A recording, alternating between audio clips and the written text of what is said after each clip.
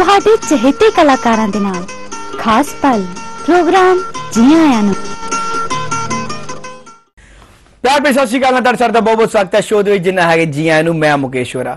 ਤੇ ਤੁਹਾਨੂੰ ਪਤਾ ਵੀ ਹਰ ਵਾਰੀ ਸਾਡੇ ਇਸ ਘਰ ਦੇ ਵਿੱਚ ਕੋਈ ਨਾ ਕੋਈ ਸੈਲੀਬ੍ਰਿਟੀ ਗੈਸਟ ਆਉਂਦਾ ਹੈ। ਤੇ ਆਪਾਂ ਰਲ ਕੇ ਤੁਹਾਡੇ ਨਾਲ ਉਹਨਾਂ ਨੂੰ ਜੀ ਆਇਆਂ ਨੂੰ ਕਹਿੰਦੇ ਨਾਲ ਸਵਾਗਤ ਕਰਦੇ ਹਾਂ। ਸੋ ਅੱਜ ਸਾਡੇ ਸ਼ੋਅ ਵਿੱਚ ਪਹੁੰਚੇ ਨੇ ਬਹੁਤ ਹੀ ਨਾਮਵਰ ਕਲਾਕਾਰ, ਬਹੁਤ ਨਾਮਵਰ ਗਾਇਕ, ਜਿਨ੍ਹਾਂ ਨੇ ਆਪਣੇ ਇਸ ਸਫ਼ਰ ਦੇ ਵਿੱਚ ਬਹੁਤ ਸਾਰੇ ਗੀਤ ਜਿਹੜੇ ਆ, ਉਹ ਪੰਜਾਬੀ ਦੀ ਝੋਲੀ ਵਿੱਚ ਪਾਏ ਨੇ। ਜੀ ਹਾਂ, ਮੇਰੀ ਮੁਰਾਦ ਸੁਖਵਿੰਦਰ ਸੁਖੀ ਭਾਜੀ ਸਤਿ ਸ਼੍ਰੀ ਅਕਾਲ ਭਾਜੀ ਬੁਰਾ ਜੀ, ਤੁਹਾਨੂੰ ਵੀ ਤੇ ਜੀ ਆਇਆਂ ਨੂੰ ਪ੍ਰੋਗਰਾਮ ਦੇਖਣ ਵਾਲੇ ਸਾਰੇ ਦਰਸ਼ਕਾਂ ਨੂੰ ਮੇਰੇ ਵੱਲੋਂ ਪਿਆਰ ਭਰੀ ਸਤਿ ਸ੍ਰੀ ਅਕਾਲ ਤੇ ਇਸ ਪ੍ਰੋਗਰਾਮ ਦੇ ਵਿੱਚ ਸਾਰਿਆਂ ਨੂੰ ਜੀ ਆਇਆਂ ਨੂੰ। ਇਹ ਕੀ ਬਾਤ ਹੈ ਭਾਜੀ। ਅੱਛਾ ਭਾਜੀ ਇੱਕ ਲੰਮਾ ਅਰਸਾ ਜਿਹੜਾ ਉਹ ਗਾਇਕੀ ਦੀ ਫੀਲਡ ਵਿੱਚ ਹੀ ਆਪਣਾ ਸਮਰਪਿਤ ਕੀਤਾ ਭਾਜੀ। ਹਾਂਜੀ ਹਾਂਜੀ। ਇਹ ਡਿਸਾਈਡਡ ਸੀਗਾ ਲਾਈਫ 'ਚ ਕਿ ਮੈਂ ਇਸੇ ਫੀਲਡ ਵਿੱਚ ਜਾ ਕੇ ਇਹਨੂੰ ਹੀ ਆਪਣਾ ਪ੍ਰੋਫੈਸ਼ਨ ਬਣਾਉਂਗਾ ਇੱਥੇ ਹੀ ਜ਼ਿੰਦਗੀ ਆਪਣੀ ਸਾਰੀ ਲਾਉਣੀ ਹੈ। ਆ ਨਹੀਂ ਡਿਸਾਈਡਡ ਨਹੀਂ ਸੀਗਾ। ਤੇ ਪਰ ਮੇਰੇ ਮਨ ਦੇ ਵਿੱਚ ਇੱਕ ਇਹ ਜ਼ਰੂਰ ਸੀ ਵੀ ਮੈਂ ਇਹ ਨਹੀਂ ਸੀ ਵੀ ਕਿਹੜੇ ਖੇਤਰ 'ਚ ਜਾਣਾ ਪਰ ਮੈਨੂੰ ਇਹ ਜ਼ਰੂਰ ਤੇ ਮੈਂ ਜਿਹੜੇ ਖੇਤਰ 'ਚ ਜਾਣਾ ਵੀ ਕੁਛ ਨਾ ਕੁਛ ਮੈਂ ਅਲੱਗ ਦਿਖਣਾ। ਕੀ ਬਾਤ। ਹੈ ਮੈਂ ਹਾਲਾਂਕਿ ਪੜ੍ਹਨ ਦੇ ਵਿੱਚ ਬੜਾ ਇੰਟੈਲੀਜੈਂਟ ਸੀ ਪੰਜਵੀਂ ਤੋਂ ਲੈ ਕੇ ਮੇਰਾ ਐਮਐਸਸੀ ਤੱਕ ਫੈਲੋਸ਼ਿਪ ਹੈ। ਬੀਐਸਸੀ ਮੈਂ ਟੌਪ ਕੀਤਾ ਯੂਨੀਵਰਸਿਟੀ 골ਡ ਮੈਡਲਿਸਟ ਹਾਂ ਮੈਂ। ਤੇ ਖੋ ਖੋ ਦੇ ਤਿੰਨ ਵਾਰੀ ਮੈਂ ਨੈਸ਼ਨਲ ਖੇਡਿਆ। ਦੋ ਵਾਰੀ ਕੈਪਟਨ ਹੈ ਪੰਜਾਬ ਦੀ ਟੀਮ ਦਾ। ਅਰੇ ਵਾਹ। ਤੇ ਗਾਉਣ ਦਾ ਸ਼ੌਂਕ ਵੀ ਸ਼ੁਰੂ ਤੋਂ ਸੀ। ਚੌਥੀ ਕਲਾਸ 'ਚ ਮੈਂ ਪਹਿਲੀ ਵਾਰੀ ਇਨਾਮ ਜਿੱਤਿਆ ਸੀ ਗਾਉਣ ਦੇ ਵਿੱਚ। ਤੇ ਪਰ ਮੈਨੂੰ ਇਹ ਸੀ ਮੈਂ ਜੋ ਕਰਨਾ ਕੋਈ ਐਸਾ ਕਰਨਾ ਵੀ ਜਦੋਂ ਕਿਤੇ ਜਾਵਾਂ ਤਾਂ ਲੋਕ ਉਂਗਲ ਕਰਨਾ ਉਹ ਫਲਾਨਾ ਜਾਂਦਾ ਹੈ। ਮੇਰੀ ਵੱਖਰੀ ਪਹਿਚਾਣ ਹੋਵੇ ਤੇ ਲੋਕ ਉਹਨੂੰ ਪਹਿਚਾਨਣ। ਐਦਾਂ ਦਾ ਕੁਝ ਕਰਨਾ। ਵੀ ਕੁਝ ਵੀ ਕਰਾਂ ਅਲੱਗ ਕਰਨਾ। ਭਾਜੀ ਖੇਤਰ ਖੇਤਰ ਸਾਰੇ ਸੀ ਮੇਰੇ ਕੋਲੇ। ਜਿੱਦਾਂ ਭਾਜੀ ਬਹੁਤ ਸਾਰੇ ਕਲਾਕਾਰ ਨੇ ਸਪੋਰਟਸ ਤੋਂ ਤੇ ਮੈਂ ਦੇਖੇ ਨੇ। ਪਹਿਲਵਾਨੀ ਕਰਦੇ ਆ ਕੁਸ਼ਤੀਆਂ ਕਰਦੇ ਨੇ ਹਨਾ ਕਬੱਡੀ ਖੇਡਦੇ ਨੇ ਉਹ ਤੇ ਗਾਇਕੀ ਚ ਆਏ ਨੇ। ਪਰ ਗਾਇਕੀ ਦਾ ਤੇ ਪੜ੍ਹਾਈ ਲਿਖਾਈ ਦਾ ਤਾਲਮੇਲ ਘੱਟ ਹੀ ਰਿਹਾ ਵੈਸੇ ਹਨਾ। ਕਲਾਕਾਰ ਜਿਹੜੇ ਨੇ। ਪੜ੍ਹਾਈ ਲਿਖਾਈ ਤੋਂ ਥੋੜੇ ਜਿਹੇ ਪਰੇ ਹੀ ਰਹੇ ਆ। ਪਰ ਤੁਸੀਂ ਸਟੱਡੀ ਦੇ ਵਿੱਚ ਵੀ ਇੰਨਾ ਤੇ ਫਿਰ ਇਹ ਕਿਦਾਂ ਸੋਚ ਆਈ ਵੀ ਮੈਂ ਪੜ੍ਹਾਈ ਵੀ ਇਸ ਲੈਵਲ ਤੇ ਕਰਨੀ ਆ ਤੇ ਨਾਲ ਦੀ ਪਰ ਪ੍ਰੋਫੈਸ਼ਨ ਗਾਇਕੀ ਨੂੰ ਬਣਾਉਣਾ। ਨਹੀਂ ਦੇਖੋ ਕਿਉਂਕਿ ਜਿਹੜੀ ਤੁਹਾਡੀ ਲਾਈਫ ਸਿਕਿਉਰਿਟੀ ਇੱਕ ਰੋਜੀ ਰੋਟੀ ਦਾ ਜਰੀਆ ਪਹਿਲਾਂ ਤੁਹਾਡੇ ਕੋਲ ਫਸਟ ਚਾਹੀਦਾ। ਜੌਬ ਸਿਕਿਉਰਿਟੀ ਜ਼ਰੂਰੀ ਹੈ ਵੀ ਪੜ੍ਹਾਈ ਵੀ ਮੇਰੀ ਐਗਰੀਕਲਚਰ ਦੀ ਮੈਂ ਐਮਐਸਸੀ ਮੈਨੂੰ ਜੌਬ ਦੀ ਕੀ ਪ੍ਰੋਬਲਮ ਨਹੀਂ ਸੀ। ਜੌਬ ਕਈ ਮਿਲੀਆਂ। ਸਰਕਾਰੀ ਪੈਸਾ ਮੇਰੇ ਕਰਮਾਂ ਚ ਹੈ ਨਹੀਂ ਸੀ। ਉਹ ਲੋਕਾਂ ਦਾ ਪੈਸਾ ਜੀ। ਹਾਂ ਪਬਲਿਕ ਮਨੀ ਸੀਗਾ। ਤੇ ਉਹ ਮੈਂ ਨੌਕਰੀਆਂ ਵੀ ਛੱਡੀਆਂ। ਤੇ ਫਿਰ ਉਹ ਬੇਸਿਕਲੀ ਤਾਂ ਪ੍ਰਮਾਤਮਾ ਕਰਨ ਵਾਲਾ ਜਿਹੜੇ ਖੇਤਰ ਤੁਹਾਨੂੰ ਲੈ ਕੇ ਜਾਣਾ ਜਿੱਥੋਂ ਕੀ ਦੇਣਾ ਉਸ ਦਾ ਮੈਂ ਨੌਕਰੀ ਚ ਉਹਨੇ ਕਿ ਪੈਸੇ ਨਾ ਕਮਾ ਸਕਦਾ। ਥੋੜਾ ਜਿਹਾ ਵੱਧ ਹਿੱਸਾ ਰੱਖਿਆ ਸੀ ਪ੍ਰਮਾਤਮਾ ਨੇ ਖਜ਼ਾਨਾ ਮੇਰੇ ਲਈ। ਤੇ ਮੈਨੂੰ ਇਸ ਖੇਤਰ ਚ ਲਿਆਂਦਾ ਵੀ ਉਹਨੂੰ ਬਾਰੇ ਸਾਲ ਮਿਹਨਤ ਕਰਨਾ ਨਾਲੇ। ਪੈਸੇ ਵੀ ਨਾਲੇ ਲੋਕਾਂ ਦਾ ਪਿਆਰ ਵੀ ਨਾਲੇ ਪਿਆਰ ਇਹ ਮਤਲਬ ਕਿਉਂਕਿ ਦੇਖੋ ਕਈ ਖੇਤਰ ਹੁੰਦੇ ਨੇ ਵੀ ਜਿਸ ਇੱਕ ਖੇਤਰ ਤੁਸੀਂ ਪੈਸਾ ਕਮਾ ਸਕਦੇ ਹੋ ਜੀ। ਸਿਰਫ ਤੁਸੀਂ ਨਾਂ ਕਮਾ ਸਕਦੇ ਹੋ ਜਾਂ ਫੇਮ ਕਮਾ ਸਕਦੇ ਹੋ ਤੁਸੀਂ ਦੌਲਤ ਕਮਾ ਸਕਦੇ ਹੋ ਪਰ ਜਿਹੜਾ ਸੰਗੀਤ ਦਾ ਖੇਤਰ ਹੈ 뮤직 ਇੰਡਸਟਰੀ ਐਸਾ ਖੇਤਰ ਹੈ ਜਿੱਥੇ ਸਾਰੇ ਚੀਜ਼ਾਂ ਤੁਹਾਨੂੰ ਇਕੱਠੀਆਂ ਮਿਲਦੀਆਂ ਨੇ। ਤੁਹਾਨੂੰ ਦੌਲਤ ਵੀ ਮਿਲਦੀ ਹੈ ਸ਼ੌਹਰਤ ਵੀ ਮਿਲਦੀ ਹੈ ਨਾਂ ਵੀ ਮਿਲਦਾ ਨਾਮਾ ਵੀ ਮਿਲਦਾ ਤੇ ਲੋਕਾਂ ਦਾ ਪਿਆਰ ਵੀ ਮਿਲਦਾ। ਸਭ ਤੋਂ ਵੱਡੀ ਗੱਲ ਤਾਂ ਇੱਕ ਪਿਆਰ ਹੁੰਦਾ ਜਿਹੜਾ ਤੁਸੀਂ ਪਿਆਰ ਇਕੱਠਾ ਕਰ ਲੈਣਾ ਉਹਦੀ ਕੀ ਕੀਮਤ ਨਹੀਂ ਜੀ ਭਾਜੀ ਅਸੀਂ ਬਹੁਤ ਸਾਰੇ ਕੰਮ ਇਦਾਂ ਕਰਦੇ ਆ ਜਿਹੜੇ ਅਸੀਂ ਸ਼ੌਂਕ ਲਈ ਸ਼ੁਰੂ ਕਰਦੇ ਆ ਪਰ ਪਤਾ ਨਹੀਂ ਲੱਗਦਾ ਵੀ ਕਦੋਂ ਸ਼ੌਂਕ ਜਿਹੜਾ profession ਬਣ ਜਾਂਦਾ ਪਰ ਤੁਹਾਡਾ ਉਹ ਕਿਹੜਾ ਟਾਈਮ ਸੀ ਤੁਹਾਨੂੰ ਲੱਗਾ ਵੀ ਯਾਰ ਮੈਂ ਇਸੇ ਸ਼ੌਂਕ ਨੂੰ profession ਬਣਾਉਣਾ ਹੁਣ? ਇਹ ਵੀ ਬੜੀ ਇੰਟਰਸਟਿੰਗ ਬੁਰਾ ਜੀ ਸਟੋਰੀ ਹੈ ਇਹ। ਮੈਂ ਪਹਿਲਾਂ ਚੌਥੀ ਕਲਾਸ 'ਚ ਨਾਮ ਜਿੱਤਿਆ ਗਾਉਣ 'ਚ ਮੈਂ ਯੂਨੀਵਰਸਿਟੀ ਚਲੇ ਗਿਆ। ਤੇ ਕਾਲਜ ਦਾ ਤੇ ਮੈਂ ਯੂਨੀਵਰਸਿਟੀ ਦਾ ਬੈਸਟ ਫੋਕ ਸਿੰਗਰ ਬਣਿਆ। ਤੋਂ ਪੱਲਾ ਭਾਜੀ ਦੇ ਬੇਟੇ ਪੁਖਰਾਜ ਦੀ ਲੋਹੜੀ ਸੀ। 1900 95 ਦੀ ਗੱਲ ਹੈ। ਓਕੇ ਤੇ ਮੈਂ ਉਦੋਂ ਐਮਐਸਸੀ ਕਰਦਾ ਸੀਗਾ। ਅੱਛਾ। ਤੇ ਉੱਥੇ ਉਹ ਮਜੋ ਜਨੈਲ ਕਮਾਨ ਜੀ ਉਦੋਂ ਸੀਐਮਸੀ ਕੰਪਨੀ ਬੜੀ ਟਾਪ ਤੇ ਚੱਲਦੀ ਸੀ ਤੇ ਉਹ ਵੀ ਉੱਥੇ ਆਏ ਸੀ। ਗੁਰਭਜਨ ਗੱਲ ਅੰਕਲ ਜੀ ਸ਼ਿਕਾਇਤ ਕਮੇਟੀ ਦੇ ਪ੍ਰਧਾਨ ਰਹੇ ਨੇ। ਸਾਡੇ ਯੂਨੀਵਰਸਿਟੀ ਦੇ ਉਹ ਵੀ ਉੱਥੇ ਸੀਗੇ ਬਾਲਾ ਭਾਜੀ। ਤੇ ਉਹ ਭੱਲਾ ਭਾਜੀ ਨੇ ਕਦੇ ਨਾ ਕਰੇ ਫੰਕਸ਼ਨ ਹੋਣਾ ਕਦੇ ਕਲਾਕਾਰ ਨਹੀਂ ਸੀ ਪ੍ਰੋਫੈਸ਼ਨਲੀ ਬੁਲਾਉਂਦੇ। ਮੈਂ ਸਟੂਡੈਂਟ ਸੀ ਸਾਡੇ ਟੀਚਰ ਸੀ। ਉਹਨਾਂ ਨੇ ਸੁਖੀ ਤੋਂ ਸਾਜੀ ਲਈ ਬੰਦਰ ਪਰਿਵਾਰ ਰੌਣਕ ਮੇਲਾ ਕਰਾਂਗੇ। ਤੇ ਮੈਂ ਇੱਕ ਔਰਗਨ ਵਾਲਾ ਢੋਲ ਵਾਲਾ ਮੈਂ ਚਲੇ ਗਾਈ ਜਾਵਾਂ। ਤੇ ਕੁਮਾਰ ਸਾਹਿਬ ਸੁਣ ਕੇ ਕਹਿੰਦੇ ਯਾਰ ਵੀ ਮੁੰਡਾ ਬੜਾ ਵਧੀਆ ਫੂਕ ਜੀ ਆਵਾਜ਼ ਆ ਬੜੀ ਸੋਹਣੀ ਪਰਫਾਰਮੈਂਸ ਆ ਰਿਕਾਰਡ ਕਰਨ ਵਾਲਾ। ਉਹ ਗੁਰਭਜਨ ਗੱਲ ਅੰਕਲ ਕਹਿੰਦੇ ਤੇ ਭੱਲਾ ਭਾਜੀ ਕਹਿੰਦੇ ਚੰਗਾ ਵੀ ਤੂੰ ਅਨਾਉਂਸ ਕਰ ਫਿਰ। ਅੱਛਾ। ਤੇ ਉਹ ਮੈਂ ਉਦੋਂ ਫਿਰ ਉਹ ਸਟੇਜ ਤੇ ਆਏ। ਸਟੇਜ ਕੀ ਥੱਲੇ ਆਏ ਪਰਿਵਾਰ ਚ ਬੈਠੇ ਤੇ ਕਰਦੇ ਸੀ। ਹਾਂ। ਤੇ ਉਹ ਮੈਨੂੰ ਮੈਂ ਉਹਨਾਂ ਨੇ ਕਾਰਡ ਦਿੱਤਾ ਮਾਈਕ ਤੇ ਆ ਕੇ ਤੇ ਅਨਾਉਂਸ। ਕੀਤਾ ਵੀ ਅੱਜ ਤੇਰੀ ਮੈਂ ਕੈਸਲ ਕਰੂੰਗਾ। ਵਾਹ ਕੀ ਬਾਤ ਹੈ। ਮਤਲਬ ਮੈਂ ਸੋਚਿਆ ਨਹੀਂ ਸੀ। ਕਿਉਂਕਿ ਉਦੋਂ ਕੋਈ ਇੰਨਾ ਕੰਪੀਟੀਸ਼ਨ ਹੁੰਦਾ ਸੀ ਵੀ ਜਿਹੜੇ ਮੁੰਡਿਆਂ ਨੂੰ ਸ਼ੌਂਕ ਹੁੰਦਾ ਸੀ ਉਹ ਉਹ ਉਹਨਾਂ ਦੇ ਜੁੱਤੀਆਂ ਘਾ ਜਾਂਦੇ ਸੀ ਕੰਪਨੀ ਦੇ ਗੇੜੇ ਮਾਰ ਮਾਰ ਮੇਰੀ ਵਾਹ। ਕਰ ਲਓ ਜੀ ਸੁਣੋ ਜੀ ਇੰਨਾ ਕੰਪੀਟੀਸ਼ਨ ਸੀ ਉਦੋਂ ਸੀਡੀ ਯੁੱਗ ਸੀਗਾ। ਹਾਂ ਬਿਲਕੁਲ ਹਾਂਜੀ। ਤੇ ਮੈਨੂੰ ਘਰੇ ਬੈਠੇ ਨੂੰ ਬਿਨਾਂ ਸੰਘਰਸ਼ ਤੋਂ ਬਿਨਾਂ ਕਿਸੇ ਕਹੇ ਤੋਂ ਉਹ ਮੈਂ ਉਦੋਂ ਚੌ ਚੌ ਦੇ ਵਿੱਚ ਹੀ ਵੀ ਚਲੋ ਵੀ ਚੱਲੀਏ ਉਹ ਘੁਮਾਣ ਸਾਹਿਬ ਨੇੜੇ ਉੱਥੇ ਸੀਗੇ ਮੈਂ ਯੂਨੀਵਰਸਿਟੀ ਪੜ੍ਹਦਾ ਸੀ ਉਹ 3-4 ਕਿਲੋਮੀਟਰ ਤੇ ਉਹਨਾਂ ਦੀ ਰਿਹਾਇਸ਼ ਸੀਗੀ। ਉਹ ਤੇ ਮੈਂ ਰੋਜ਼ੇ ਚਲੇ ਜਾਣਾ ਚਲੋ ਜੀ ਕਰ ਤਿਆਰੀ ਕਰਦੇ ਰਾਜ ਬਰਾੜ ਸਾਹਿਬ ਉੱਥੇ ਹੁੰਦੇ ਸੀ। ਉਦੋਂ ਤਿਆਰੀ ਕਰਾਉਂਦੇ ਸੀ ਭਗਵੰਤ ਮਾਨ ਉਹਨੀ ਉੱਥੇ ਹੁੰਦੇ ਸੀ ਕਰਮਜੀਤ ਅਨਮੋਲ ਹਰਭਜਨ ਸ਼ੇਰਾ ਸਾਰੇ ਇਕੱਠੇ ਉਦੋਂ ਉੱਥੇ ਹੁੰਦੇ ਸੀ ਇਕੱਠੇ ਤਿਆਰੀਆਂ. ਤੁਰੀਆਂ ਕੀਤੀਆਂ। ਤੇ ਉੱਥੋਂ ਫਿਰ ਉਹ ਪਹਿਲੀ ਕੈਸਟ ਹੋਈ ਉਦੋਂ ਬਾਅਦ ਚੱਲ ਸੋ ਚੱਲ। ਤੇ ਜਦੋਂ ਭਾਜੀ ਪਹਿਲਾ ਗਾਣਾ ਇਦਾਂ ਮਿਲਿਆ ਤਾਂ ਉਹ ਸਭ ਤੋਂ ਪਹਿਲਾਂ ਫੈਮਿਲੀ 'ਚ ਜੋ ਦੱਸਿਆ ਜਾ ਕੇ ਮੈਂ ਇਦਾਂ ਗਾਣਾ ਲੱਗਾ ਕਰਨ ਜਾਂ ਕੈਸਟ ਕਰਨ ਲੱਗੇ ਉਹਨੇ ਰੋਕਿਆ ਨਹੀਂ ਵੀ ਤੂੰ ਵੀ ਲਾਈਨ ਆ ਆ ਮੈਂ ਹੋਸਟਲ ਘਰੇ ਤਾਂ ਦੱਸਿਆ ਨਹੀਂ ਕਿ ਮੈਂ ਤਾਂ ਹੋਸਟਲ ਰਹਿੰਦਾ ਸੀ। ਮੈਂ ਮੈਂ ਹੋਸਟਲ ਰਹਿੰਦਾ ਸੀਗਾ। ਉਹ ਕਰਦੇ ਤਾਂ ਘਰ ਦੇ ਤੋਂ ਪਤਾ ਲੱਗਾ ਜਦੋਂ ਗਾਣਾ ਟੀਵੀ ਤੇ ਆ ਗਿਆ। ਵੀ ਉਹ ਤੁਸੀਂ ਘਰ ਕਿ ਤੁਹਾਡਾ ਮੁੰਡਾ ਟੀਵੀ ਤੇ ਆਇਆ ਸੀ। ਤੇ ਉਹ ਤੋਂ ਉਹ ਤੋਂ ਬਾਅਦ ਪਤਾ ਲੱਗਿਆ। ਮੈਂ ਬੇਸਿਕਲੀ ਬੋਲੇ ਤੁਹਾਨੂੰ ਮੈਂ ਦੱਸਾਂ ਜਦੋਂ ਪਹਿਲੀ ਮੈਂ ਤਾਂ ਪੜ੍ਹਨ ਚ ਬਹੁਤ ਇੰਟੈਲੀਜੈਂਟ ਸੀ। ਤੇ ਮੇਰਾ ਮਨ ਦੇ ਵਿੱਚ ਇਹ ਸੀ ਮੈਂ ਉਦ ਤੱਕ ਪੜ੍ਹਨਾ ਜਿੱਥੇ ਪੜ੍ਹਾਈ ਖਤਮ ਹੋ ਜਾਂਦੀ ਹੈ। ਮੈਂ ਪੀਐਡ ਜਦੋਂ ਮੇਰੀ ਬੰਗਾ ਵਿੱਚ ਨੇ ਕੈਸਟ ਆਈ ਮੈਂ ਪੀਐਡ ਐਡਮਿਸ਼ਨ ਲੈ ਲਈ ਸੀ ਉਦੋਂ। ਅੱਛਾ। ਪੜ੍ਹਾਈ ਖਤਮ ਕਰਨੀ ਆ। ਤੇ ਇੰਟੈਲੀਜੈਂਟ ਸੀਗੇ ਇਸ ਕਰਕੇ। ਤੇ ਇਹ ਇਹ ਤਾਂ ਉਹ ਤਾਂ ਕੁਦਰਤੀ ਮੈਂ ਜਦੋਂ ਮੌਕਾ ਮਿਲਿਆ ਵੀ ਕੁਮਾਰ ਸਾਹਿਬ ਨੇ ਕਹਿੰਦਾ ਤੇਰੀ ਕੈਸਟ ਕਰਨੀ ਆ। ਤੇ ਮੈਂ ਤਾਂ ਉਦੋਂ ਇਹ ਸੋਚਿਆ ਵੀ ਜਦੋਂ ਕੈਸਟ ਵਾਲੀ ਦੁਕਾਨ ਤੇ ਜਾਈਦਾ ਨਾ ਉੱਥੇ ਕੈਸਟਾਂ ਪਈਆਂ ਹੋਣੀਆਂ ਉੱਥੇ ਕਲਾਕਾਰ ਦੀ ਫੋਟੋ ਹੋਣੀ ਤੇ ਮੈਨੂੰ ਇੰਨਾ ਕੁ ਲੈ ਵੀ ਹੁਣ ਮੇਰੀ ਕੈਸਟ ਆ ਜੂਗੀ ਇੱਥੇ ਮੇਰੀ ਫੋਟੋ ਲੱਗੀ ਤੇ ਕੈਸਟ ਇੱਥੇ ਪਈ ਹੋਇਆ ਕਰੂਗੀ। ਮੈਂ ਇਹ ਸੋਚ ਕੇ ਕੀਤੀ ਸੀ। ਮੈਂ ਇਹ ਸੋਚ ਕੇ ਨਹੀਂ ਸੀ ਕੀਤੀ ਮੈਂ ਕਲਾਕਾਰ ਬਣਨਾ। ਓਕੇ ਮਤਲਬ ਕਿ ਹਾਂ ਤੇ ਫਿਰ ਮੈਂ ਮਾਹੌਲ ਦਾ ਮੈਂ ਸੀਰੀਅਸ ਤੋਂ ਬਾਅਦ ਜਦੋਂ ਪਹਿਲੀ ਕੈਸਟ ਆਈ ਉਹ ਮਤਲਬ ਇੰਨੀ ਤਿਆਰੀ ਵੀ ਨਹੀਂ ਸੀ ਨਾ ਕੁਝ ਮੈਟਰ ਬਾਰੇ ਪਤਾ ਸੀ ਜਿਹੜੇ ਸਾਡੇ ਸਟੂਡੈਂਟ ਨਾਲ ਪੜ੍ਹਦੇ ਸੀ ਉਹਨਾਂ ਦੇ ਗੀਤ ਇਕੱਠੇ ਕਰ ਲਏ ਰਿਕਾਰਡਿੰਗ ਕਰਾਤੀ। ਤੇ ਉਹ ਜਦੋਂ ਫਿਰ ਉਹ ਤੋਂ ਬਾਅਦ ਮੈਂ ਦੇਖਿਆ ਵੀ ਨਹੀਂ ਯਾਰ ਵੀ ਜਿਹੜਾ ਕੰਮ ਕਰਨਾ ਤੇ ਇਦਾਂ ਨਹੀਂ ਫਿਰ ਥੋੜਾ ਸੀਰੀਅਸ ਹੋਣਾ ਪੈਣਾ। ਔਰ ਸਿੱਖੀ ਵੀ ਪ੍ਰੋਪਰ ਸਾਡੇ ਚਮਨ ਲਾਲ ਭੱਲਾ ਸਾਡੇ ਪ੍ਰੋਫੈਸਰ ਮਿਊਜ਼ਿਕ ਦੇ ਮੈਂ ਸਿੱਖਿਆ। ਫਿਰ ਉਸ ਤੋਂ ਬਾਅਦ ਫਿਰ ਤਿਆਰੀ ਵੀ ਕੀਤੀ ਥੋੜੀ ਮੋਟੀ ਤੇ ਉਹਦਾ ਰਿਜ਼ਲਟ ਵੀ ਸਾਰਿਆਂ ਦੇ ਸਾਹਮਣੇ ਆ। ਕੀ ਬਾਤ ਹੈ ਭਾਜੀ ਜਦੋਂ ਕੋਈ ਜਿਹੜਾ ਕੰਮ ਆਪਾਂ ਸੀਰੀਅਸ ਹੋ ਕੇ ਕਰਦੇ ਆ ਤੇ ਕਿਸੇ ਪ੍ਰਾਪਤੀ ਲਈ ਕਰਦੇ ਆ ਉੱਥੇ ਪ੍ਰਾਪਤੀ ਹੋ ਜਾਂਦੀ ਆ। ਪਰ ਭਾਜੀ ਇਹ ਜਿੱਦਾਂ ਹੁਣ ਤੁਸੀਂ ਸ਼ੁਰੂ ਕਰਤਾ ਗਾ ਪਰ ਤੁਹਾਡੀ ਲਾਈਫ ਦਾ ਪਹਿਲਾ ਗੀਤ ਕਿਹੜਾ? ਜਿੱਥੋਂ ਲੱਗਦਾ ਵੀ ਇੰਨੇ ਪਹਿਚਾਨ ਦਵਾਈ ਮੈਨੂੰ ਇਹਨੇ ਇੱਕਦਮ ਜ਼ਿੰਦਗੀ ਜਿਹੜੀ ਆ ਉਹ ਚੇਂਜ ਕਰਤੀ ਫੜ ਕੇ। ਹਾਂ ਉਹ ਗੀਤ ਸੀਗਾ ਜੀ ਦੂਜੀ ਕੈਸਟ ਸੀ ਮੇਰੀ ਸਾਰਾ ਤੂੰ ਪੰਜਾਬ ਗੱਲ ਤੇਰੇ ਵੰਗਾ ਆਈਆਂ। ਬਾਤ, ਬਹੁਤ ਵੱਡਾ ਉਹ ਗੀਤ। ਨੇ ਬਾਕੀ ਮੇਰੀ ਜ਼ਿੰਦਗੀ ਚੇਂਜ ਕੀਤੀ। ਵੀ ਜਦੋਂ 1 ਜਨਵਰੀ 1999 ਨੂੰ ਉਹ ਲਿਸ਼ਕਾਰੇ ਦੇ ਵਿੱਚ ਗੀਤ ਆਇਆ ਤੇ ਦੂਜੇ ਦਿਨ ਫਿਰ ਸੁਖਵਿੰਦਰ ਗਰੇਵਾਲ ਸੁਖਵਿੰਦਰ ਸੁਖੀ ਬਣ ਗਿਆ। ਕੀ ਬਾਤ ਹੈ ਭਾਜੀ। ਤੇ ਇੱਕ ਨਾ ਕਲਾਕਾਰ ਕਲਾਕਾਰ ਗਿਆ। ਪੰਜਾਬੀ ਸੰਗੀਤ ਨੂੰ ਇੰਡਸਟਰੀ ਨੂੰ। ਭਾਜੀ। ਗਰੇਵਾਲ ਤੋਂ ਸੁਖੀ ਨਾਮ ਕਿਦਾਂ ਘਰ ਦਾ ਨਾਮ ਆ ਸੁਖੀ ਪਿਆਰ ਨਾਲ ਕਿ ਵੈਸੇ ਰੱਖਿਆ ਗਿਆ? ਨਹੀਂ ਘਰ ਦਾ ਨਾਮ ਨਹੀਂ ਇਹ ਜਦੋਂ ਅਸੀਂ ਕੈਸਟ ਕੀਤੀ ਨਾ ਰਵਿੰਦਰ ਗਰੇਵਾਲ ਉਹਨਾਂ ਦੀ ਕੈਸਟ ਪਹਿਲਾਂ ਆ ਗਈ ਸੀਗੀ। ਆਲਰੇਡੀ ਮਾਰਕੀਟ ਦੇ ਵਿੱਚ ਸੀ. ਤੇ ਮੈਨੂੰ ਯੂਨੀਵਰਸਿਟੀ ਸੁਖਵਿੰਦਰ ਗਰੇਵਾਲ ਕਹਿੰਦੇ ਹੁੰਦੇ ਸੀ। ਸਾਰੇ। ਦੋਸਤ ਮਿੱਤਰ। ਤੇ ਉਹ ਘੁਮਾਣ ਸਾਹਿਬ ਕਹਿਣ ਲੱਗੇ ਸਤਨਾਮ ਸਿੱਧੂ ਹੁਣੀ ਤੇ ਵੀ ਯਾਰ ਵੀ ਰੀਸ ਨਾ ਲੱਗੇ। ਵੀ ਉਹ ਗਰੇਵਾਲ ਪਹਿਲਾਂ ਆ ਗਿਆ ਸੀਗਾ। ਸੁਖਵਿੰਦਰ ਗਰੇਵਾਲ ਆ ਗਿਆ। ਤੇ ਫਿਰ ਉਹ ਉਹ ਮੈਨੂੰ ਕਹਿੰਦੇ ਹੋਰ ਤਰ੍ਹਾਂ ਵੀ ਨਿਕਨੇਮ ਆਪਾਂ ਕੀ ਰੱਖ ਸਕਦੇ ਹਾਂ? ਕਹਿੰਦੇ ਸੁੱਖੀ ਰੱਖ ਲਓ। ਅੱਛਾ। ਕੀ ਦੋਸਤ ਨੂੰ ਸੁੱਖੀ ਮੈਂ ਅੱਜ ਹੋਰ ਕੀ ਕਹਿੰਦੇ ਨੇ ਹਾਂ, ਇਹ- ਕਹਿੰਦੇ ਜੀ ਗਰੇਵਾਲ ਕਹਿੰਦੇ ਨੇ ਮੈਂ ਸੁੱਖੀ ਕਹਿੰਦੇ ਨੇ। ਕਹਿੰਦੇ ਆ ਵਧੀਆ ਕਹਿੰਦੇ ਕਲਾਕਾਰਾਂ ਦਾ ਨਾਮ ਲਾਦਾ ਸੁਖਵਿੰਦਰ ਸੁੱਖੀ ਰੱਖ ਲਓ। ਜਿਹੜਾ ਘਰ ਦਾ ਜਿਹੜਾ ਮੇਰਾ ਫੈਮਿਲੀ ਨਾਮ ਸੀ ਉਹ ਭੋਲਾ ਕਹਿੰਦੇ ਸੀ ਮੈਨੂੰ। ਭੋਲਾ। ਹਾਂ ਪਿਆਰ ਦੇ ਨਾਲ। ਤੇ ਮੈਂ ਪਹਿਲਾਂ ਸੁਖਵਿੰਦਰ ਭੋਲਾ ਰੱਖ ਲਈ ਕਹਿੰਦੇ ਨਹੀਂ ਯਾਰ ਇਹ ਥੋੜਾ ਦੇਸੀ ਲੱਗਦਾ। ਹਾਂ ਕਮੇਡੀਅਨ ਜਿਹਾ ਲੱਗਦਾ। ਲੱਗਦਾ। ਕਹਿੰਦਾ ਸੁਖਵਿੰਦਰ ਸੁੱਖੀ ਠੀਕ ਹੈ। ਭਾਜੀ ਉਹ ਗੀਤ ਦੀਆਂ ਦੋ ਲੈਣਾ ਹੋ ਜਾਣ। ਹਾਂਜੀ ਬਿਲਕੁਲ ਕੋਕਾ ਤੂੰ ਪਸੰਦ ਕੀਤਾ ਜਾ ਕੇ ਨੀਆਂ ਵਾਲੇ ਸੂਟ ਤੂੰ ਬਣਾਇਆ ਜਾ ਕੇ ਸ਼ਹਿਰ ਪਟਿਆਲੇ ਕੋਕਾ ਤੂੰ ਪਸੰਦ ਕੀਤਾ ਜਾ ਕੇ ਨੀਆਂ ਵਾਲੇ ਸੂਟ ਤੂੰ ਬਣਾਇਆ ਜਾ ਕੇ ਸ਼ਹਿਰ ਪਟਿਆਲੇ ਪੂਰਾ ਕਰਕੇ ਸ਼ਿੰਗਾਰ ਘੁੰਮੇ ਸਾਰੇ ਤੂੰ ਬਾਜ਼ਾਰ। ਕਰਕੇ ਸ਼ਿੰਗਾਰ ਘੁੰਮੇ ਸਾਰੇ ਤੂੰ ਬਾਜ਼ਾਰ। ਰਹੀ ਫਿਰਦੀ ਤੂੰ ਕਰਕੇ ਚੜਾਈਆਂ ਸਾਰਾ ਤੂੰ ਪੰਜਾਬ ਗਾਲਿਆ ਨੀ ਤੇਰੇ ਵੰਗਾ ਮੇਚ ਨਾ ਆਈਆਂ ਸਾਰਾ ਤੂੰ ਪੰਜਾਬ ਗਾਲਿਆ ਹੋ ਨੀ ਤੇਰੇ ਵੰਗਾ ਮੇਚ ਨਾ ਆਈਆਂ ਸਾਰਾ ਤੂੰ ਪੰਜਾਬ ਗਾਲਿਆ। ਹੋ ਨੀ ਤੇਰੇ ਵੰਗਾ ਮੇਚ ਨਾ ਆਈਆਂ ਸਾਰਾ ਤੂੰ ਪੰਜਾਬ ਗਾਲਿਆ। ਭਾਜੀ ਫੁੱਲ ਟੇਪ ਸੀਗੀ ਇਹ। ਹਾਂ ਪੂਰੀ ਟੀਮ ਸੀ। ਉਦੋਂ ਆਉਂਦੀ ਉਦੋਂ ਕੈਸਟ ਤਾਂ। ਸਿੰਗਲ ਟਰੈਕ ਤਾਂ ਹੁਣੇ ਸ਼ੁਰੂ ਹੋਏ ਨੇ। ਉਦੋਂ ਪੂਰਾ ਟ੍ਰੈਂਡ ਸੀਗਾ ਪੂਰੇ ਗਾਣੇ ਦਾ। ਤਕਰੀਬਨ ਆਪਣੀਆਂ ਸਿੰਗਲ ਟਰੈਕ ਤਾਂ ਮੇਰਾ ਹੁਣ ਇੱਕ ਆ ਰਹੇ ਨੇ। ਪਹਿਲਾਂ ਹੁਣ ਤੱਕ ਕੀਤੇ ਨੇ ਆਪਾਂ ਪੂਰੀਆਂ ਕੈਸਟਾਂ ਕੀਤੀਆਂ ਸੀਡੀਆਂ ਤੇ ਉਹ ਪੂਰੀ ਟੇਪ ਦੇ ਵਿੱਚ ਤੁਹਾਨੂੰ ਯਕੀਨ ਸੀਗਾ ਵੀ ਇਹੀ ਗੀਤ ਹਿੱਟ ਹੋਊਗਾ ਕਿ ਇਹ ਕੁਦਰਤੀ ਹੋ ਗਿਆ ਵਾਲਾ? ਉਹ ਜਿਹੜੇ ਕਹਿੰਦੇ ਉਹ ਕੁਦਰਤੀ ਹੁੰਦੀਆਂ ਨੇ। ਚੀਜ਼ਾਂ ਇਹ ਜਿਹੜਾ ਅਸੀਂ ਕੈਸਟ ਦਾ ਪਹਿਲਾਂ ਟਾਈਟਲ ਰੱਖਿਆ ਸੀਗਾ ਜੀ ਇਹ ਰੱਖਿਆ ਸੀ ਕੁੜਤੀ ਧੰਨ ਕੁਰਦੀ ਲਾਦੇ ਦਰਜੀਆ ਤਾਰੇ।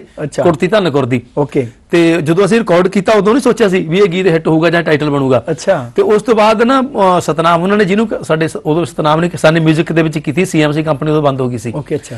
ਤੇ ਉਹ ਉਹਨਾਂ ਨੇ ਜਿਹੜੀ ਕਿਸੇ ਨੂੰ ਮੈਂ ਇਹ ਕੈਸਟ ਜਦੋਂ ਇਹ ਸੁਣਾਉਣੀ ਤਾਂ ਉਹਦੇ ਵਿੱਚ ਹਰ ਨੇ ਕਹਿਣਾ ਯਾਰ ਆਹ ਗੀਤ ਥੋੜਾ ਬੜਾ ਵੱਖਰਾ ਜਿਹਾ ਅੱਛਾ। ਤੇ ਉਦੋਂ ਟ੍ਰੈਂਡ ਨਹੀਂ ਸੀਗਾ ਅਜੇ ਸ਼ਹਿਰਾਂ ਹੁਸੂਰਾਂ ਬਾਰੇ ਗੀਤ ਨੌ ਲੈਣ ਦਾ ਜਾਂ ਇਦਾਂ ਦਾ ਉਦੋਂ ਸੈਡ Song ਜੇ ਚੱਲਦੇ ਹੁੰਦੇ ਸੀ ਉਦੋਂ। ਮਤਾ ਧਰਮਪ੍ਰੀਤ ਹਰਦੇ ਮਾਹੀ ਨੰਗਲ ਤੇ ਦਵਿੰਦਰ ਕੋਹਿਨੂਰ। ਉਦੋਂ ਸੈਡ Song ਜਦੋਂ ਸਾਡੀ ਕੈਸਟ ਆਈ ਸੀ ਉਦੋਂ ਸੈਡ Song ਦਾ ਪੂਰਾ ਬੋਲਬਾਲਾ ਸੀ। ਇਹ ਪਹਿਲਾ ਬੀਟ Song ਸੀ ਜਿਹੜਾ ਉਸ ਦੌਰ ਚ ਆ ਕੇ ਹਿੱਟ ਹੋਇਆ ਸੀ ਓਕੇ ਮਤਲਬ ਕਿ ਨਵੀਂ ਚੀਜ਼ ਹੋ ਗਈ ਨਵੀਂ। ਚੀਜ਼ ਸੀਗੀ। ਤੇ ਜਿਹਨੇ ਵੀ ਸੁਣਨਾ ਕਹਿੰਦਾ ਯਾਰ ਆਹ ਗੀਤ ਥੋੜਾ ਵਧੀਆ। ਉਦੋਂ ਸਾਡਾ ਵੀ ਧਿਆਨ ਜਾਣਾ ਸ਼ੁਰੂ ਹੋ ਗਿਆ ਤੇ ਇਸੇ ਕਰਕੇ ਅਸੀਂ ਕੈਸਟ ਰਿਲੀਜ਼ ਕਰਨ ਤੋਂ ਪਹਿਲਾਂ ਅਸੀਂ ਕੋਈ ਦਾ ਕੋਈ ਰੈਪਰ ਨਹੀਂ ਕੋਈ ਪੋਸਟ ਨਹੀਂ ਮੈਂ ਫੋਟੋਆਂ ਵੀ ਨਹੀਂ ਸੀ ਕਰਾਈਆਂ ਤੇ ਉਹ ਸਤਨਾਮ ਸਿੱਧੂ ਨੇ ਕਹਿੰਦੇ ਜਿਨ੍ਹਾਂ ਨੇ ਕੈਸਟ ਰਿਲੀਜ਼ ਕੀਤੀ ਸੀ ਵੀ ਆਪਾਂ ਫਿਰ ਗਾਣਾ ਇਹ ਲਿਸ਼ਕਾਰੇ ਚ ਲਵਾ ਕੇ ਹਾਂ ਕੀ ਰਿਜ਼ਲਟ ਆਉਂਦਾ। ਓਕੇ ਅੱਛਾ ਵੈਸੇ ਹੀ। ਵੈਸੇ ਹੀ ਕੋਈ ਤਿਆਰੀ ਨਹੀਂ। ਕਹਿੰਦਾ ਲੋਕ ਕਹੀ ਜਾਂਦੇ ਨੇ ਵੀ ਗਾਣਾ ਤੁਹਾਡਾ ਵਧੀਆ ਇਹ ਵੀ ਆਪਾਂ ਉਹ ਤੋਂ ਬਾਅਦ ਦੇਖਾਂਗੇ ਵੀ ਬਦਲਣਾ ਕਿ ਇਹਨੂੰ ਰੱਖਣਾ. ਅਸੀਂ ਉਧਰੋਂ ਗਾਣਾ ਜਦੋਂ ਟੀਵੀ ਤੇ ਲਵਾਤਾ ਉਦੋਂ 1 ਜਨਵਰੀ 1999 ਨੂੰ ਲਿਸ਼ਕਾਰਾ ਆਉਂਦਾ ਸੀ ਸੋਮਵਾਰ ਸੀ ਦਿਨ ਉਦੋਂ ਓਕੇ ਤੇ ਅਸੀਂ ਗਾਣਾ ਉਹ ਚੈਨਲ ਤੇ ਉਦੋਂ ਆ ਗਿਆ ਦੂਰ ਤੱਕ ਆ ਪੈ ਗਿਆ।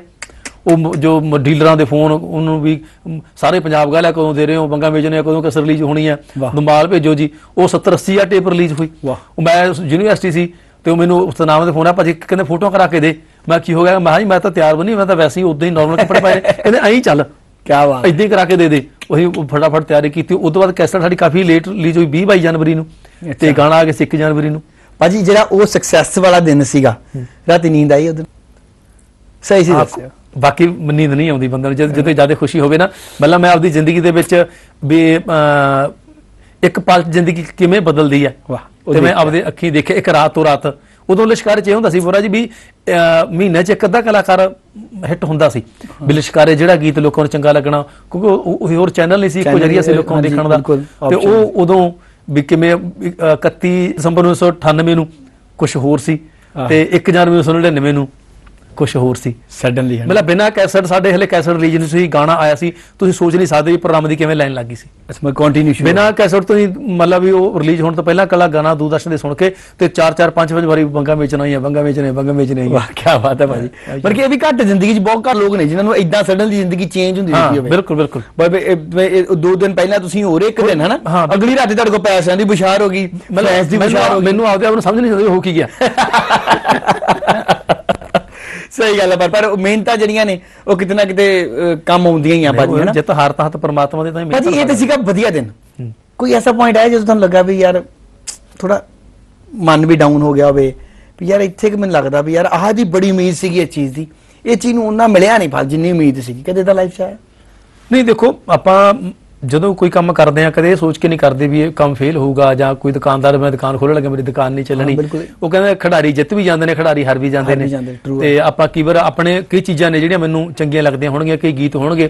ਜਿਵੇਂ ਹੁਣ ਅਸੀਂ ਗੀਤ ਪਿੱਛੇ ਜੇ ਕੀਤਾ ਸੀ ਪੈਸਾ ਤੇ ਹਥਿਆਰ ਦੋਸਤੋ ਲੋੜ ਪੈਣ ਤੇ ਕੱਢੋ। ਮੈਨੂੰ ਬਹੁਤ ਜ਼ਿਆਦਾ ਉਮੀਦ ਸੀ ਇਸ ਗਾਣੇ ਤੋਂ। ਪਰ ਲੋਕਾਂ ਨੇ ਪਸੰਦ ਕੀਤਾ ਪਰ ਜਿੰਨੀ ਮੈਨੂੰ ਉਮੀਦ ਨਹੀਂ ਸੀ ਉਹਨਾਂ ਨਹੀਂ ਸੀ। ਮੈਂ ਕੀ ਤਾਂ ਕੀਤਾ ਸੀ ਵੀ ਅੱਜ ਕੱਲ ਹਥਿਆਰ ਵਾਲੇ ਗਾਣੇ ਬਹੁਤ ਹੁੰਦੇ ਨੇ ਬੰਦੇ ਮਾਰਨ ਵਾਲੇ ਗਾਣੇ ਬਹੁਤ ਹੁੰਦੇ ਨੇ ਪੈਸਾ ਬਹੁਤ ਲੁਟਾਇਆ ਜਾਂਦਾ। ਵੀ ਯਾਰ ਕੋਈ ਚੰਗੀ ਗੱਲ ਕਰੀਏ ਸਮਾਜ ਨੂੰ ਦਈਏ। ਪਰ ਉਹ ਜ਼ਰੂਰੀ ਨਹੀਂ ਜਿਹੜੀ ਤੁਹਾਡੀ ਸੋਚ ਆ ਉਹ ਲੋਕਾਂ ਦੀ ਸੋਚ ਨਾਲ ਮਿਲੇ। ਕਈ ਵਾਰ ਚੀਜ਼ਾਂ ਆਪਾਂ ਸੋਚੀਆਂ ਵੀ ਨਹੀਂ ਹੁੰਦੀਆਂ। ਐਂ ਸਾਡੀ ਆ ਜਿਹੜਾ ਸਾਡੀ ਪੱਗ ਦੀਆਂ ਪੂਣੀਆਂ ਕਰਾਇਆ ਕਰੇਗੀ। ਅਸੀਂ ਜਦੋਂ ਫਿਰ ਪਹਿਲਾਂ ਗਾਣਾ ਕਿਸੇ ਤੋਂ ਕੱਢਣ ਲੱਗੇ। ਹੂੰ। ਵੀ ਤੁਹਾਡੇ ਅੱਛਾ, ਬਾਹਰ ਕੱਢਣ ਲੱਗੇ ਸੀ? ਹਾਂ ਹਾਂ ਵੀ ਵੀ ਪਰਿਵਾਰਕ ਜਗ ਸਾਡਾ ਗੀਤ ਸੀ ਝਰੀਟਾਂ ਪਈਆਂ ਸਾਡੇ ਦਿਲ ਤੇ ਬੰਗਾ ਤੇਰੀ ਨੀ ਬੀਣੀ ਦੇ ਵਿੱਚੋਂ ਟੁੱਟੀਆਂ। ਵੀ ਇੱਕ ਸਾਡੀ ਪੱਗ ਦੀਆਂ ਪੂਣੀਆਂ ਕਰਾਇਆ ਕਰੇਗੀ। ਵੀ ਜੋ ਇੱਕ ਰੱਖ ਲਓ। ਹਾਂ। ਤੇ ਉਹ ਉਦੋਂ ਫਿਰ ਗੋਲ ਸਾਹਿਬ ਨੇ ਕੈਸਟ ਕੀਤੀ ਸੀ ਗੋਲ ਮਿਊਜ਼ਿਕ ਚ ਕਹਿੰਦੇ ਚਲੋ ਆਹ ਰੱਖ ਲਓ ਆ ਵੰਗਾ ਤੁਹਾਡਾ ਪਹਿਲੇ ਵੀ ਆਇਆ ਵੀ ਆ ਨਵੇਂ ਪੱਗ ਦੀਆਂ ਪੂਣੀਆਂ ਰੱਖ ਲਓ। ਨੌਵੇਂ ਨੌ- ਨੌਵੇਂ 10ਵੇਂ ਨੰਬਰ ਤੇ ਗਾਣਾ ਵੈਸੇ ਰੱਖ ਲਿਆ।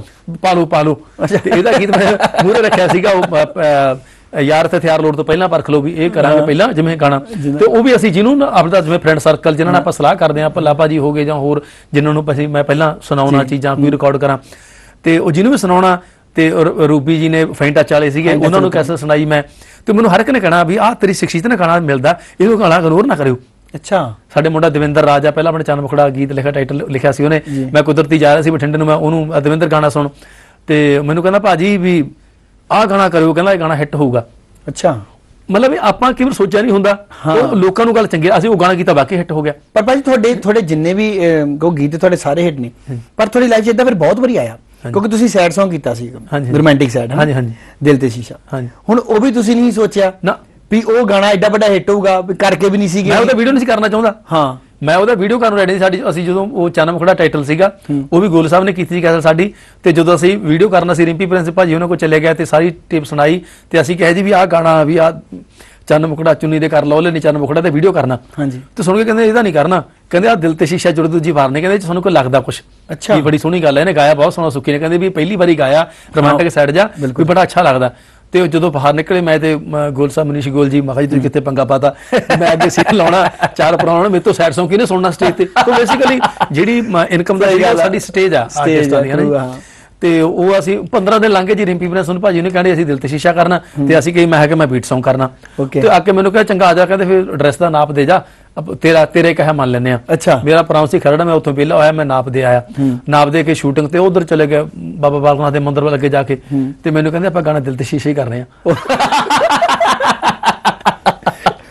ਉਹ ਮਤਲਬ ਉਹਨਾਂ ਨੇ ਇੰਨੀ ਸ਼ੋਰਟੀ ਲਈ ਕਹਿੰਦੇ ਵੀ ਆ ਅਸੀਂ ਕਰਨਾ ਹੀ ਕਰਨਾ। ਵੀ ਜੇ ਗਾਣਾ ਫੇਲ ਹੋ ਗਿਆ ਤੁਹਾਡਾ ਰਿਕਾਰਡਿੰਗ ਦਾ ਖਰਚਾ ਤੁਹਾਡਾ ਵੀਡੀਓ ਆਡੀਓ ਐਡ ਦਾ ਸਾਤੋਂ ਲੈ ਜਿਓ। ਕੀ ਬਾਤ ਕਹਿੰਦੇ ਗਾਣਾ ਇਹ ਗਾਣਾ ਥੋੜੀ ਟੇਪ ਵਿੱਚ ਵਾਕਈ ਹੋਇਆ ਵੀ। ਕਈ ਵਾਰੀ ਆਪਾਂ ਥੋੜਾ ਜਿਹਾ ਆਪਦੇ ਇੱਕ ਸੋਚਦੇ ਆ ਜਦੋਂ ਦੋ ਰਲਦੇ ਨੇ ਵਿਚਾਰ ਹੋ ਜਾਂਦੇ ਨੇ ਇਦਾਂ ਫਿਰ ਜਦੋਂ ਦੋ ਤਿੰਨ ਸੋਚਾਂ ਇਕੱਠੀਆਂ ਮਿਲ ਜਾਂਦੀਆਂ ਨੇ ਕੋਈ ਨਾ ਕੋਈ ਨਿਕਲ ਆਉਂਦਾ। ਭਾਈ ਦਿਲ ਤੇ ਸ਼ੀਸ਼ਾ ਦੇ ਦੋ ਲੈਣਾ ਹੋ ਜਾਣਾ। ਹਾਂਜੀ ਬਿਲਕੁਲ। ਇਸ ਗੱਲ ਦੀ ਕਿਉਂ ਸੱਜਣਾ ਤੈਨੂੰ ਸਾਰ ਨਹੀਂ? ਇਸ ਗੱਲ ਦੀ ਕਿਉਂ ਸੱਜਣਾ ਤੈਨੂੰ ਸਾਰ ਨਹੀਂ? ਦਿਲ ਤੇ ਸ਼ੀਸ਼ਾ ਦਿਲ ਤੇ ਸ਼ੀਸ਼ਾ ਜੁੜਦੇ ਦੂਜੀ ਵਾਰ ਨਹੀਂ। ਦਿਲ ਤੇ ਸ਼ੀਸ਼ਾ ਜੁੜਦੇ ਦੂਜੀ ਵਾਰ ਨਹੀਂ। ਗੋਰਾ ਜੀ ਕੀ ਦੀ ਇੱਕ ਹੋਰ ਅਹ, ਮਤਲਬ ਇੰਟਰਵਿਊ ਦੀ ਇੰਟਰਸਟਿੰਗ ਸਟੋਰੀ ਹੈ Okay. ਅਸੀਂ ਜਦੋਂ ਅਹ, ਇਹ ਤੁਰਨ ਰਿਸ਼ੀ ਸੀ ਬਬਲੂ ਜਿਨ੍ਹਾਂ ਨੇ 뮤직 ਕੀਤਾ ਸੀ ਪਹਿਲੀ ਕੈਸਟ ਸੀ ਉਹਨਾਂ ਦੀ ਐਜ਼ ਅ 뮤직 ਡਾਇਰੈਕਟਰ ਓਕੇ ਅੱਛਾ ਤੇ ਅਸੀਂ ਬੈਠੇ ਗੁਲਸਾ ਬੈਠੇ ਪੂਰੀ ਟੀਮ ਬੈਠੀ ਸੀ ਸਾਰਾ ਮੈਟਰ ਸਿਲੈਕਟ ਕਰ ਲਿਆ ਅੱਠ ਗਾਣੇ ਕਰਕੇ ਅਸੀਂ ਜਦੋਂ ਸਟੂਡੀਓ ਤੋਂ ਬਾਹਰ ਆਏ ਨਾ ਮੈਂ ਉਹ ਤੁਰਨ ਰਿਸ਼ੀ ਉਹਨਾਂ ਨੂੰ ਕਹਿਣ ਲੱਗਿਆ ਮਾਹਿਰ ਕਈ ਵਾਰੀ ਅ, ਤੁਹਾਡਾ ਕੀ ਚੀਜ਼ਾਂ ਗਾਉਣ ਨੂੰ ਦਿਲ ਕਰਦਾ ਹੁੰਦਾ ਵੀ ਅੱਜ ਕੱਲ ਕਮਰਸ਼ੀਅਲ ਜੋਗਾ ਵੀ ਕੰਪਨੀ ਵਾਲੇ ਤੁਹਾਨੂੰ ਗਾਉਣ ਨਹੀਂ ਦਿੰਦੇ ਮੈਨੂੰ ਕਹਿੰਦਾ ਭਾਜੀ ਕਿਹੜਾ ਕੀ ਆ? ਮੈਂ ਸੁਣਾਇਆ ਐਦਾਂ ਹੀ। ਅੱਛਾ। ਮੈਂ ਵੀ ਜਮਲਾ ਜੱਟੀ ਦੀ ਕੰਪੀਟੀਸ਼ਨ ਮੈਂ ਕੱਟੀ ਆ ਸਤਿਗੁਰੂ ਨਾਨਕ ਤੇਰੀ ਲੀਲਾ ਹਾਂ, ਨਿਆਰੀ ਹਾਂ, ਆ ਹਾਂ। ਵੀ ਮੈਂ ਕੱਟ ਕੇ ਗੀਤ ਐਦਾਂ ਮੈਨੂੰ ਸੋਹਣਾ ਲੱਗਦਾ। ਉਹ ਮੈਂ ਕਹਿੰਦਾ ਸੁਣਾਓ ਤਾਂ ਮੈਂ ਐਂ 27 ਸੁਣਾਈ ਉਹਨਾਂ ਨੂੰ। ਕਹਿੰਦੇ ਭਾਜੀ ਪਹਿਲਾ ਰਿਕਾਰਡ ਇਹ ਕਰਨਾ। ਅੱਛਾ। ਇਹ ਗੀਤ ਸਾਡਾ ਮੈਟਰ ਦੇ ਵਿੱਚ ਵੀ ਨਹੀਂ ਸੀ। ਅੱਛਾ ਮੈਟ ਅੱਛਾ ਮੈਟਰ ਚ ਵੀ ਨਹੀਂ ਰੱਖਿਆ ਮੈਟਰ ਵਿੱਚ ਰੱਖਿਆ ਸੀ ਅਸੀਂ ਗੀਤ। ਮੈਂ ਸਟੂਡੀਓ ਤੋਂ ਬਾਹਰ ਨਿਕਲ ਕੇ ਸੁਣਾਇਆ ਉਹਨਾਂ ਨੂੰ ਉਦੋਂ ਬਾਅਦ ਚ। ਉਹਨੇ ਦੇਖੋ ਮਤਲਬ ਕੀ ਚੀਜ਼ਾਂ ਜਿਹੜੀਆਂ ਕੁਦਰਤੀ ਹੁੰਦੀਆਂ ਨੇ ਤੇ ਉਹ ਜਿਹੜੀਆਂ ਹਿੱਟ ਹੋ ਜਾਂਦੀਆਂ ਤੇ ਉਹ ਚੰਗੀਆਂ ਹੁੰਦੀਆਂ ਨੇ। ਬਠਿੰਡੇ ਵਾਲੇ ਦਾ ਯਕੀਨ ਸੀਗਾ ਇਹ ਟੂ ਹਾਂ ਬਠਿੰਡੇ ਵਾਲਾ ਇਹ ਸੀ ਵੀ ਜਦੋਂ ਪਹਿਲਾਂ ਸਾਡਾ ਆਪਣੇ ਗੀਤ ਬੰਗਾ ਮੇਚਨੇ ਵੀ ਕਿਹੜੇ ਕਿਹੜੇ ਸ਼ਹਿਰ ਚੋਂ ਕਿਹੜੀ ਕਿਹੜੀ ਚੀਜ਼ ਖਰੀਦੀ ਤੇ ਉਸ ਤੋਂ ਬਾਅਦ ਇੱਕ ਸਾਡਾ ਅਹ, ਘਰ ਤੇਰਾ ਲੱਭ ਲੈ ਕੈਸਟ ਚ ਗੀਤ ਸੀਗਾ ਵੀ ਕਿਹੜੇ ਕਿਹੜੇ ਸ਼ਹਿਰ ਚੋਂ ਕਿਹੜੀ ਕਿਹੜੀ ਚੀਜ਼ ਮਿਲਦੀ ਹੈ ਕਿਹੜੇ ਕਿਹੜੇ ਸ਼ਹਿਰ ਦੀ ਕਿਹੜੀ ਚੀਜ਼ ਮਸ਼ਹੂਰ ਹੈ। ਲੁਧਿਆਣੇ ਚ ਸਵੈਟਰ ਬਾਲੇ ਮਿਲਦੇ ਰੇਸ਼ਮੀ ਪਰਾਂਦੇ ਪਟਿਆਲੇ ਮਿਲਦੇ ਸੋਨੇ ਦਾ ਬਠਿੰਡੇ ਵਿੱਚ ਦੰਦ ਮਿਲਦਾ ਫਾਟਕ ਮਰਿੰਡੇ ਵਾਲਾ ਬੰਦ ਮਿਲਦਾ। ਤੇ ਇਹ ਇਹ ਇਹ ਰੁਟੀਨ ਸੀ ਫਿਰ ਉਸ ਤੋਂ ਬਾਅਦ ਲੋਕ ਤੋਂ ਉਮੀਦ ਕਰਨ ਲੱਗੇ ਸੀ ਵੀ ਅਗਲੀ ਕੈਸਟ ਚ ਕੀ ਗਾਊਗਾ ਵੀ ਸ਼ਹਿਰਾਂ ਬਾਰੇ ਕੀ ਖਾਸੀਅਤ ਦੱਸੂ। ਕਿ ਉਸ ਤੋਂ ਬਾਅਦ ਸੋਚਿਆ ਸੀ ਵੀ ਹੁਣ ਜੈਲੀ ਮਜੀਦਪੁਰੀ ਦਾ ਗੀਤ ਸੀਗਾ ਇਹ ਬਠਿੰਡੇ ਵਾਲੇ ਪਹਿਲਾ ਗੀਤ ਸੀਗਾ। ਅੱਛਾ। ਵੀ ਯਾਰ ਹੁਣ ਉਦੋਂ ਵੀ ਹੁਣ ਕੀ ਕਰੀਏ ਯਾਰ ਬੰਗਾ ਵੇਚ ਨੇ ਕਰ ਲਿਆ ਫਾੜੂ ਮਨੀ ਵਾਲਾ ਕਰ ਲਿਆ। ਇਦੋਂ ਵੱਧ ਕੀ ਗੱਲ ਹੋਵੇ? ਆ ਕਿ ਵੀ ਜ਼ਿਲ੍ਹਿਆਂ ਦੀ ਗੱਲ ਕਰੀਏ। ਅੱਛਾ। ਵੀ ਭਾਜੀ ਕਹਿੰਦਾ ਜ਼ਿਲ੍ਹੇ ਦੀ ਗੱਲ ਲਿਖਦੇ ਆ ਹੁਣ। ਜੈਲੀ ਨੇ ਜ਼ਿਲ੍ਹੇ ਦੀ ਗੱਲ ਲਿਖੀ ਉਹ ਉਹ ਗੀਤ ਹਿੱਟ ਹੋ ਗਿਆ। ਪਰ ਉਹ ਡਿਸਾਈਡਡ ਸੀਗਾ ਤੁਹਾਨੂੰ? ਹਾਂ ਡਿਸਾਈਡ ਸੀ। ਉਦੋਂ ਬਾਅਦ ਫਿਰ ਮੈਂ ਜੱਟਾਂ ਦੇ ਗੋਤ ਕੀਤੇ ਸੀ ਇੱਕ ਵੀ ਹੁਣ ਕੀ ਕਰੀਏ? ਜੱਟਾਂ ਦੇ ਗੋਤ ਉਹ ਫਿਰ ਉਹ ਤਾਂ ਉਹ ਇੱਕ ਰੁਟੀਨ ਵਾਲਾ ਕੰਮ ਸੀ। ਵੀ ਇੱਕ ਕਰ ਲਿਆ ਤੇ ਇਹ ਤੋਂ ਬਾਅਦ ਕੀ ਕਰਨਾ? ਵੀ ਵੱਖਰੀ ਕੀ ਚੀਜ਼ ਕੀ ਦੇਣੀ ਹੈ? ਇੱਕ ਮਤਲਬ ਕਿ ਸਟਾਈਲ ਦਾ ਪਾਰਟ ਹੋ ਗਿਆ। ਵੀ ਹਾਂ। ਦਾ ਵੀ ਐਤਕੀ ਹੁਣ ਕੀ ਵੀ ਹੁਣ ਕੀ ਲੋਕਾਂ ਨੂੰ ਕੀ ਆਊਗਾ ਕੀ ਆਊਗਾ? ਫਿਰ ਉਹ ਤੇ ਉਹ ਇੱਕ ਸੋਚ ਹੁੰਦੀ ਉਹ ਸੀ। ਜੁੜ ਗਿਆ ਪੱਕਾ ਹੀ ਨਾਲ। ਸੋਚ ਸੀ ਉਹ। ਵੀ ਉਹਦਾ ਤਾਂ ਆਪਾਂ ਕਰਾਂਗੇ ਕਰਾਂਗੇ। ਉਹ ਵਿੱਚ ਇੱਕ ਟੇਪ ਚ ਪੈਣਾ ਹੀ ਪੈਣਾ ਭਾਜੀ। ਗਾਇਕੀ ਬਹੁਤ ਚੇਂਜ ਹੋ ਗਈ ਹੁਣ। ਹਾਂਜੀ। ਕਮਰਸ਼ੀਅਲ ਜ਼ਿਆਦਾ ਹੋ ਗਈ ਹਾਂਜੀ। ਕਮਰਸ਼ੀਅਲ ਨਹੀਂ ਮੀਡੀਆ ਦਾ ਯੁੱਗ ਹੋ ਗਿਆ ਸੋਸ਼ਲ ਮੀਡੀਆ ਆ ਗਿਆ। ਹੋਰ ਤਰ੍ਹਾਂ ਦੀ ਪ੍ਰੋਮੋਸ਼ਨ ਹੋਣ ਲੱਗੀ ਜਿਹੜੀਆਂ ਚੰਗੀਆਂ ਗੱਲਾਂ ਨੇ ਮੈਨੂੰ ਲੱਗਦਾ ਉਹ ਕਿਤੇ ਪਿੱਛੇ ਲੁਕੇ ਰਹਿ ਜਾਂਦੀਆਂ ਨੇ। ਚੰਗੇ ਕਲਾਕਾਰ ਵੀ ਕਿਵੇਂ ਪਿੱਛੇ ਲੁਕੇ ਰਹਿ ਜਾਂਦੇ ਨੇ। ਤੇ ਅੱਜ ਕੱਲ ਤੇ ਮੈਨੂੰ ਲੱਗਦਾ ਵੀ ਕਲਾ ਵਾਲੇ ਕਲਾਕਾਰ ਘੱਟ ਬਣ ਰਹੇ ਨੇ ਤੇ ਕਾਰ ਵਾਲੇ ਕਲਾਕਾਰ ਵੱਧ ਵੱਧ ਬਣ ਰਹੇ ਨੇ। ਜਾਂ ਜਿਹੜੇ ਜਿਵੇਂ ਸਾਡੇ ਦੌਰ ਦੇ ਆਰਟਿਸਟ ਸੀ ਜਾਂ ਪਹਿਲਾਂ ਦੇ ਸੀ ਉਹਨਾਂ ਨੂੰ ਸੋਸ਼ਲ ਮੀਡੀਆ ਵਾਲਾ YouTube ਵਾਲਾ ਫੰਡਾ ਨਹੀਂ ਕਈਆਂ ਨੂੰ ਸਮਝ ਆਉਂਦਾ। ਉਹਦੇ ਕਰਕੇ ਵੀ ਕਈ ਵਾਰੀ ਪਿੱਛੇ ਹੋ ਗਏ ਜਿਵੇਂ ਸਾਡੀ ਰੁਟੀਨ ਹੁੰਦੀ ਸੀ ਵੀ ਸਾਲ ਬਾਅਦ ਕੈਸਟ ਕਰਨੀ। ਹਾਂ। ਅਸੀਂ ਕਾਫੀ ਤਾਂ ਉਹੀ ਰੁਟੀਨ ਤੇ ਪਹਿਰਾ ਦਿੰਦੇ ਆ ਰਹੇ ਵੀ ਜਿਵੇਂ ਸਾਨੂੰ ਕਹਿੰਦਾ ਸੋਲੋ ਟਰੈਕ ਕਰ ਸਿੰਗਲ ਟਰੈਕ ਕਰੋ ਨਹੀਂ ਸਿੰਗਲ ਟਰੈਕ ਨਹੀਂ ਕਰਨਾ। ਹਾਂ, ਵੀ ਲੋਕਾਂ ਨੂੰ ਸੁਣਾਉਣਾ ਕੁਝ ਵੱਖਰੇ ਵੱਖਰੇ ਵਰਨੀਆਂ ਦੇਣੀਆਂ ਨੇ। ਤੇ ਸਮੇਂ ਦੀ ਚੇਂਜ ਆ ਉਹ ਚੰਗਾ ਵੀ ਆ ਤੇ ਮਾੜਾ ਵੀ ਆ। ਤੇ ਉਹ ਚੰਗਾ ਚੰਗਾ ਇਹ ਆ ਵੀ ਤੁਹਾਨੂੰ ਹੁਣ ਬਾਹਲੀ ਮਿਹਨਤ ਨਹੀਂ ਕਰਨੀ ਪੈਂਦੀ। ਕੋਈ ਕੰਪੋਜੀਸ਼ਨ ਕਰਨ ਦੀ ਲੋੜ ਨਹੀਂ। ਤੁਸੀਂ ਗਾਣਾ ਫੜੋ ਤੇ ਗਾ ਦਿਓ ਕੰਪੋਜੀਸ਼ਨ ਨਹੀਂ ਆ। ਪਹਿਲਾਂ ਕੀ ਜਦੋਂ 8 ਦੀ 8 8 ਉਹ ਭਾਜੀ ਕੀ ਬਾਤ ਤੁਹਾਡੀ? ਕੁਝ ਪੜ ਦੋ ਉਹ ਕੋਈ ਕੁਝ ਕੰਪੇਅਰ ਕਰਨ ਨੂੰ ਨਹੀਂ ਨਾ। ਹੁਣ ਮੈਂ ਪੱਗ ਬੰਨੀ ਆ ਤੁਸੀਂ ਨਹੀਂ ਬੰਨੀ। ਕੋਈ ਕੰਪੇਅਰ ਨਹੀਂ ਨਾ। ਇੱਥੇ ਪੱਗ ਵਾਲਾ ਬੈਠਾ ਹੁੰਦਾ ਤਾਂ ਕੰਪੈਰੀਜ਼ਨ ਹੁੰਦਾ ਵੀ ਆ, ਪੱਗ ਸੋਹਣੀ ਆ, ਇਹਦੀ ਮਾੜੀ ਆ। ਹਾਂ ਜਦੋਂ 8-10 ਗੀਤ ਕਰਨੇ ਪੈਂਦੇ ਸੀ ਉਦੋਂ ਕੀ ਹੁੰਦਾ ਸੀ? ਉਦੋਂ ਮੈਟਰ ਦੇ ਵਿੱਚ ਵੀ ਵੈਰਾਈਟੀ ਚਾਹੀਦੀ ਹੁੰਦੀ ਸੀ। ਆ। ਤੇ ਜਦੋਂ ਕੰਪੋਜੀਸ਼ਨਾਂ ਕਰਨੀਆਂ ਉਹ ਸੋਚਣਾ ਵੀ ਇੱਕ ਰਾਗ ਦੇ ਵਿੱਚ ਨਾ 8 ਗੀਤ ਹੋਣ। ਤੇ ਕਮ ਸੇ ਕਮ ਦੋ ਭੈਰਵੀ ਚ ਹੋਣ ਦੋ ਸ਼ਿਵਰੰਜਨੀ ਚ ਦੋ ਸਾਰੰਗ ਚ ਦੋ ਦਰਬਾਰੀ ਚ ਹਾਂਜੀ।